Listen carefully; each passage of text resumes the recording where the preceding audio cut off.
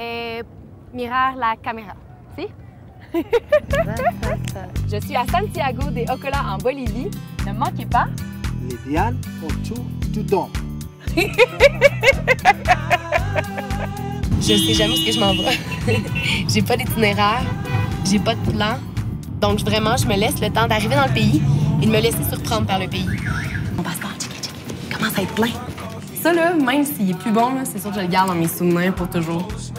Ça veut tellement dire c'est un passeport pour la liberté. He left a letter here for me. It said, Ooh, I left your record. J'adore faire des sports extrêmes. Plus c'est extrême, plus il y a du danger, mieux c'est. Watch out,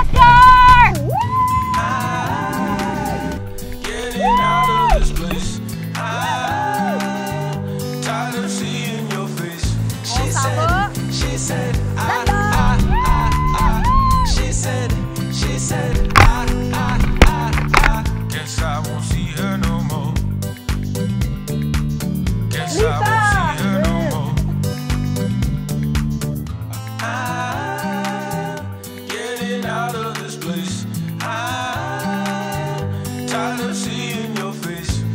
said, she said, I, I, I, I. She said, she said, she said,